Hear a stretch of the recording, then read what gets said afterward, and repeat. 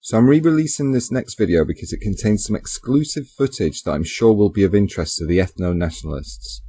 And also the fact that I'm now regarded by them with such high esteem, hopefully they might also be inclined to watch some of my other content.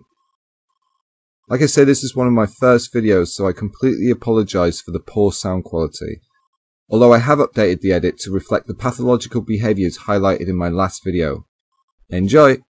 I can't believe that hippie guy has got him nailed. Like, and Well, he's like, getting he's getting beaten by what looks like a leftist right now. oh, Who's hundred percent, yeah. Is that Swampy? guy. Is that Swampy from the good old days? Well- what happened well, to if Swampy? it- I'd love if to know it what is- happened to Swampy.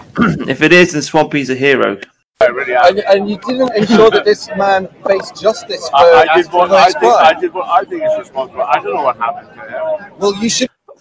Well, well, you don't even care. Like that, that left No, no. really is a hero. That, Well, that I- was- I I hope- don't know what happened. I hope the PA, I hope the PA member that's assigned to us tonight has fucking watched that and realised the man Yeah. they're fucking defending when they're writing their fucking notes down. I'm not compelled by law, but thank you, but it's at the end of that point. You would be. I thought we wanted to it- talk about something. it- more. it- Talk about- if- just wants to move the on. Police, if the police Yeah. heard about this story, Yeah, I think So- the they, Hmm. they, they would question you and say, "Why didn't you come to the police?" And you would. This guy's a fucking hero. I love this guy.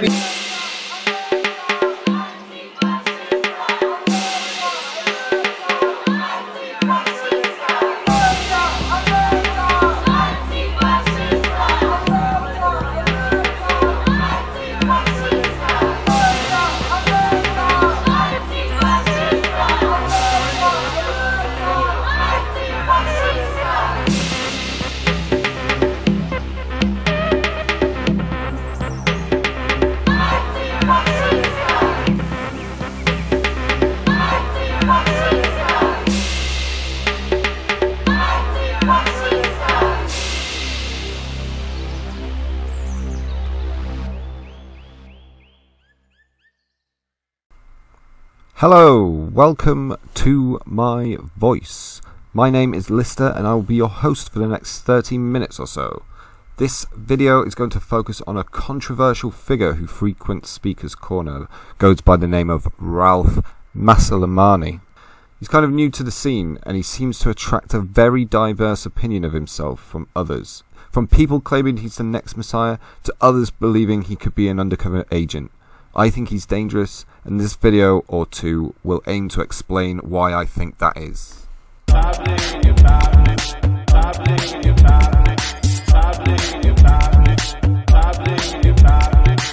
I would, I would, I would string you up in a prison and desensitize you.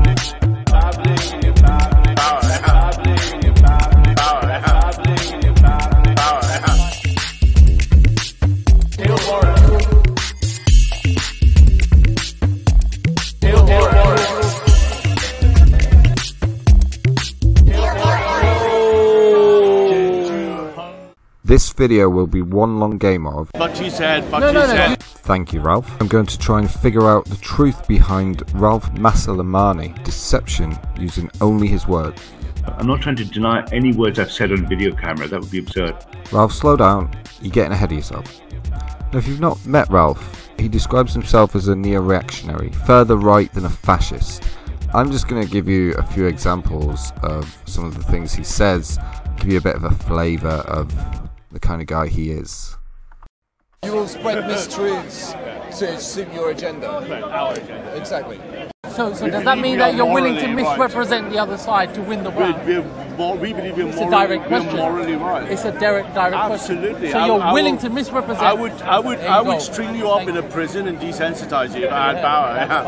All You know words. it. You know words have power, right? Absolutely. And the way it's framed as a, a Muslim, that's very, very specific. Correct. And you knew that on purpose. Oh, we're doing it deliberately too. You are doing deliberately. No, because we're exactly. war with so Islam. they're doing it deliberately. Because we're but, but part of the- part Yeah. of the war Thank you. I'm glad you've admitted. Okay, I okay, let acknowledge me, therefore we're using it like Goebbels with for so, propaganda. Ah, so you, you Goebbels, uh, who was who was Goebbels? A The Nazi. Hitler's, Hitler's, so, so, oh, so Hitler's- you're using it like a Nazi. Yeah, just like a, just Right. like, just like a mullah Goebbels was a. Hail Boris. Now, you're probably instantly thinking this guy seems crazy and he shouldn't be taken seriously, and I would have to agree. But the problem is, people do take him seriously, especially his disciples that he always seems to have hanging around. So we know Ralph lies. The question is, how much? And what is true and what is not? So 90% of what they're saying is bollocks, but I'm looking for that 10%. Good idea, Ralph. So now let's go get some of his inconsistencies. Or in Ralph's words, the 90% which is bollocks. I know I'm not inconsistent. What I don't understand is which bit you think is inconsistent. So this video will focus around a story Ralph told on a live streamed hangout about his direct knowledge of grooming gangs and he told this anecdotal story to try and show his dominance in knowledge on this subject. I'm going to show that video in full now. So what do they tell you about grooming gangs, Ralph? They, they, Yeah, no, Ralph is right. Ralph is right on this. Is, the point here is, and it's building on Raindrop's point, is Raindrop's point is dead on the money. They have three different axes operating in their life. They are frustrated young men. They're waiting to go through a traditional conservative marriage. They are sexualized with no no access to their own women. And their views that correlate perfectly to grooming gangs is we will either fuck and dump or break and rape young, filthy white women. They can't say that to you, Dan. I hear it all the time. If I solicit it, they're open with me. If I pretend I agree with it, they tell me even more. I've had boys saying, "Hey, there's a house, there's, there's a house with a No, young no, Dan. girl." Hear me out, Dan. The audience want to listen to me too. I literally don't. Oh, I've, mate, I've, I've got the audience. Dan, which I'm giving you I'm two into good chances, Dan. No, that is Reasonable, true, Dan. Or you will It get true. Unfortunately, it is The true. audience Like, don't want to listen to your joke. They want to hear about the real stories. So, for example, recently, when I spoke to some of the boys, they're 24, they're like, hey, we found a new Polish girl. She's now totally hooked on a bit of chalk. If you go to her house, she's managed to fuck them. Do you want to come? Do you want to go? We keep going there. Did you report them to the police? their attitude to Western women- them to the police? I'm going to ask you once again to calm this down. I'm asking you four or five times. I'm being reasonable. You will. I did not interrupt you. You will take your turn, or you will get kicked off. Now, so the audience are trying to listen to what I have to say. So in these areas, when you listen to their attitudes, you can see them starting at the young incels that you identify, gaining in cultural confidence before marriage. Eventually, when they get married, they become a different type of creature. And on that period, their attitudes to women, as Raindrop says, is a derisory attitude. It's a cultural hegemonistic attitude. It's one that says, I will fucking use this piece of meat. And that is what the attitude of, Muslim boys in England are to white men. The fact that you're not privy to this doesn't mean it isn't so. It just means you're not privy to it because you can't relate to the culture. Raindrop, I would posit, even as a Sikh man, they would be more likely to share that with you with Dan, correct? Babbling and you're babbling. So with this video, I just want you to notice how dominant and sure of himself he is in, in, in his storytelling. There's no doubt in his mind that what he's saying is true. He's very authoritative. There's no, oh, it's just hearsay. Oh, I don't know if there's a victim. It's he knows what is happening. There's no other way to take that. So I had that chat and decided to question Ralph on what he had said at Speaker's Corner, and he kind of wiggled out of the conversation while lying, contradicting himself. So I knew there was a lie there, but I just needed to confirm it. So I, I let him squirm out the conversation and then had a Google Hangout with him while I questioned him more and played him that original video back to him after he'd kind of dropped himself in it. So that's all the material I'm I'm taking from, and I'm going to show the contradictions from within those three discussions that I've had with him and that I'm aware of. Which Okay, bit do you think is inconsistent? It's a genuine, sincere question, mate. so inconsistency number one. He mentioned house at least twice in that original clip. And let's see what he had to say about the house the first time I spoke to him. Yet there is a story that you told where you were uh, having a chat with a Muslim and he invited you to this house to have a go. To okay, there's a location. Your narrative is let's try, try, try, try to find Ralph's inconsistency. I'm trying to help you understand, but there isn't one. So as we can see, this is the first question I ask him, and he instantly distances himself from the original story. First he was told about a house, and now it's not a house, it's just a location. Why the change? Has he got something to hide? Let's continue our investigation. You see, your response tells me you're trying to find inconsistency. Yes, Ralph, I am trying to find inconsistencies. How the hell did you get in here? So, in the original clip that I just showed, Ralph is quite explicit that the guy told him that they had this woman in this house, and it wasn't hearsay. But then let's see what he says later on after he realizes he needs to crawl back into ignorance. And I became made aware through the hearsay of the community that this thing was occurring. Let's start again. I knew something was occurring. I was concerned about what was occurring. I've never witnessed this. I don't know. I've never been there. It's just hearsay amongst the people I know. Which bit of which story have I changed? And even when he's saying that it's hearsay, he's still got this positive, I knew something was occurring. Like it's not just hearsay, it's almost definite that he knows this is happening. Another positive language was he, he kept saying it stopped. And I, I spent about half an hour pressing him on how can something stop if it hadn't started or if you don't know it had started. And I was asking him this question linguistically, but he, he kept going on repeating the same question and not answering how something can stop unless it started. The concern is stopping it. I wanted it stopped. That was my objective. My intention was to have it stopped. So I went to their right wing hierarchy, and that's what stopped it. They would have jammed up for the police. Which bit did I say before that I had changed? Just wait, Ralph. It's only going to get better. These last two examples are very telling. I'll explain after each one. You had been told it had stopped. How can it have stopped if you don't know it, if whether it had started or not? Okay, so let's let's break that down logically. Either two scenarios: either it never happened, or it did happen. Of course, there's two scenarios. Either it happened or it didn't happen. And considering it had stopped, it must have happened. And then, yes, this last one is even more telling. Let's go. The best way to find a stop in these families, in these communities, is to find the male patriarch who has the power, because only he can make them stop. So I went to the male patriarch and told them that if they didn't stop it, I would stop it. And then it stopped. And the boys involved, the boys involved won't even make eye contact with me when they pass me in the street. But they've not faced justice for their crimes. Well, I don't know if there was a crime. But you don't. But you said it stopped. So how do you know it stopped if you don't know if there was something to stop? Because the father told me. I asked him, "How do you know that it stopped?" And then he says, "Because the father told him." So if the father told you it stopped, then it's very likely there's a crime committed. Come on, Ralph. Which bit of which story have I changed?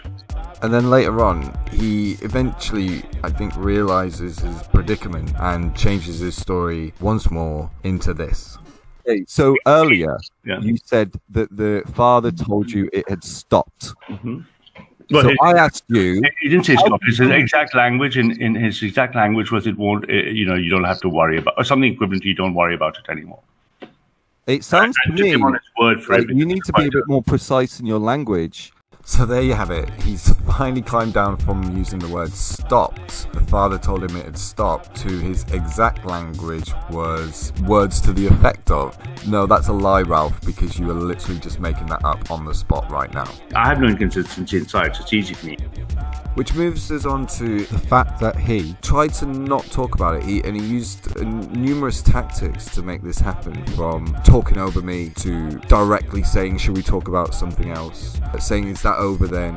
There was a lot of nervous laughing, and even the comments underneath the video, they're not very favourable to him. They're all saying, "Ralph, you're done." so I can imagine he was a bit nervous throughout the, these conversations that I had with him. I'll give you a few examples of those. This nervousness now. I wasn't witness to a crime. So are we done with this then? Is that the end of that? Mm-hmm. So that comment was made for half an hour into the conversation where we're clearly not done, and it went on for like another half an hour, 40 minutes more. But here's another one. Well, you should have told the police, do Yes, you not that's- think? If you're that's- aware that's of a crime, point. you should. Otherwise, you are Thank, thank you, complicit. thank you for your input. Is that the end of that matter? Yeah. I'm not compelled by law, but thank you, but it's at the end of that point. You would be. I thought we wanted to talk about something it- more. it- than- about if, the- if, the Muslim if the police, if the police Okay, heard about this story, Yeah, I think we get So- the they, they, they would question you and say, why didn't you come to the police? And you would. Her Majesty's there- police are there willing might to be You still can. When a- was this incident? might be a charge When of was this being incident? in- in- in- yeah, in when was this. this? So are you going to go to the police and Well, even if? I did, it's not. I don't give you the right to ask me what and tell me what I don't need the right. I'm not. I'm, I'm No, I'm actually telling you, I'm not giving you the right. yeah, to yeah, say yeah, that to yeah, it. I- you can ask me I don't need nicely, to- I right? But you're don't going to tell me to- what I to don't do. need you to ask me. If we tried it, Give me the if, right. we try and tie this. One great thing about the far right is we don't negotiate. so we're carrying on. So that point's over. I think we want to talk Oh no no, just to tie it up. I'll let you finish up. it. I'll let So, you finish Because you have to hurry uh, up, you're going to get bored very quickly. I, I think you're stuck. That's more like you're, he's got you. You're a bit stuck, and you're getting you're using boredom as, an excuse. just a bit more forward. But carry on. So uh, after a while. I see some sweat. I see some sweat. That's just my beauty. You want to run your fingers in my skin. No, I that really happens all don't. the time. It's humility. So anyway, grooming gangs. What do you, which one do you want to talk Guys, about? Do you want to finish You your guys point? take- take I want to to get on to. Muslim. The Muslim him, grooming uh, gang. Yeah, I just want to see him. I, I uh, want to know. So I let him off there. I sensed he was lying and being deceptive, so I thought I'd go back, review the footage, check what he was lying about, and then question him again on camera. So then I've got three things to work on, and then to make this video. So there was one more like act of nervousness or sheepishness that I almost forgot to include, and that's his admission that it was like part of a family, his family or someone else's family. He clarified later that it was someone else's family. But look how he makes this announcement that it's family. It's not as if he's proud of it. He does it very hush hush, and he says it to the Muslim as if he's expecting him to understand why he's kept it within the family and not gone to the police. You know if the police were But eventually again, but I don't think this is a story we should discuss about. Why not? But I don't You think- brought it up. If, it, if, you knew we- about if something, we shouldn't should be have discussing it, it. why why I have no why did you bring it up online? I would discuss because it's real people involved. That's all. No, I have but- no problem. But I think it does both sides a disservice. No, I- it's but already I- happened, right? No, But but, you're- you, you're- you're, you're complicit. Happy to Surely, is talk that you're Yeah, you're blaming me. I'm happy to talk about You're blaming me not saying I for you girls were getting complicit. raped. If You know of a crime, you- but you don't- when you no, knew of a crime and you didn't crime inform the police. you don't report it. You said that you did it. So as you can see there, he whispers as if to move away from the camera to Saracen and says, "Oh, it's family, it's family." And then I pick him up on it instantly, and then he has to admit and, and talk about the fact that it's family and whose family. But then let's see how he characterizes that on the YouTube Hangout when I question him about why he whispered. Okay, so you said at the park that it's within the it's within. I don't want to talk about this, and then you under your breath you said it's within the family, and then I responded, "Oh, it it's wasn't under family." my breath. It was just windy. I mean, that's a blatant lie. I'm going to play that again so you can see for yourselves. You said that you did it. Now, his final contradiction that I'm going to include is a big one. He has gone through the whole conversation saying that he told the father he thought that was the right thing to do because he put a stop to it. The police wouldn't do anything about it if, if he was to tell them, and he didn't even know if there was a crime, it's just hearsay or whatever. But he doesn't know if there is a victim, there could have been a victim, and if there was, she's probably still being groomed by the other members of the grooming gang.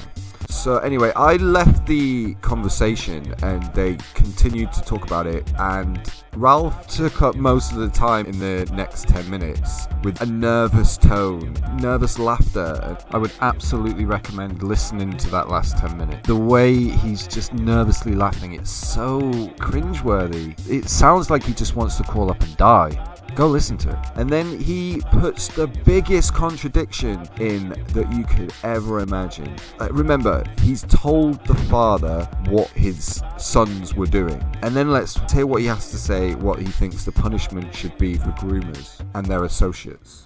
But anyways, moving on. Um, you know how I feel about grooming gangs. My clear, my fucking opinions are quite clear in the public to I'll see. tell you what should happen to all grooming gangs, regardless of who they are and what religion Deport. and paedophilia. It's a fucking bullet straight to the head. Yeah, I'd deport their families. I families. agree. I agree. Yeah, deport their families and everyone in your So there you have it, ladies and gentlemen.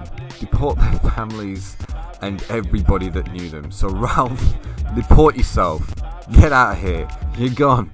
Your own rules. You knew a groomer. Get out. So are we done with this then? Is that the end of that?